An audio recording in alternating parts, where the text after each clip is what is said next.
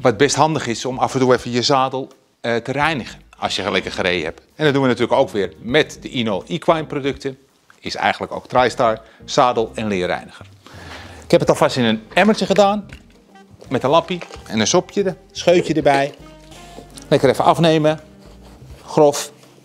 En dan raad ik u aan, als u dit allemaal gedaan nog even de zadel- en leer vernieuwer te gebruiken. Want dan wordt het helemaal fantastisch. Wat ziet het er goed uit? Ino producten van TriStar. Gezellig!